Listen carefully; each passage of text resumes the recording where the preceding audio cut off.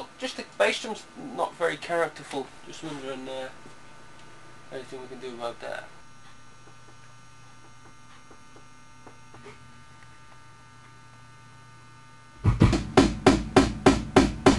In with the kit.